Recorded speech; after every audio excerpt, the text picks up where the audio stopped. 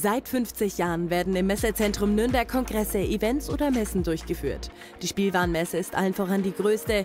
Genau die gab auch den Anstoß, um das XXL-Gebäude zu bauen. Denn in den 1960er Jahren wurde die internationale Spielwarenmesse entwickelt.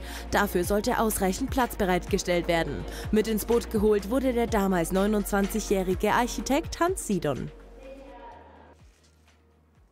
Ich bin zu der Planungsgesellschaft dazu gestoßen als Mitarbeiter, als freier Mitarbeiter und habe als äh, Projektleiter dann die Durchführung äh, übernommen.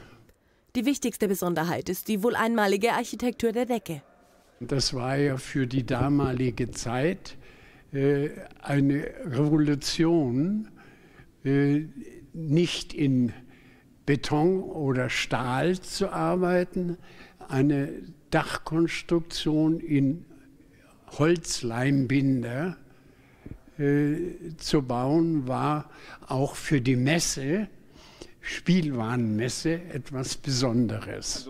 Eine weitere Herausforderung gab es allerdings bei der Umsetzung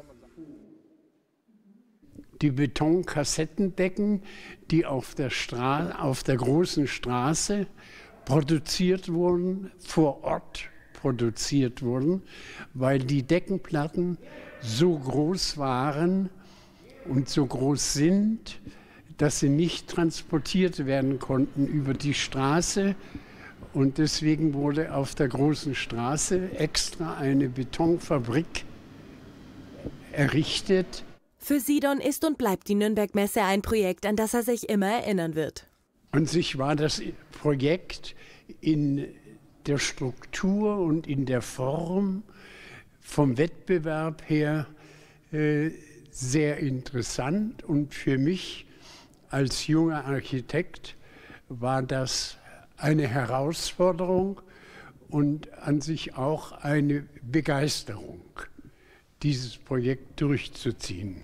Nach knapp 16 Monaten Bauzeit und einer Investition von rund 100 Millionen D-Mark wird das Zentrum dann 1973 feierlich eröffnet. Knapp einen Monat später findet dann gleich die 24. internationale Spielwarenmesse dort statt, in zehn Hallen auf rund 70.000 Quadratmetern.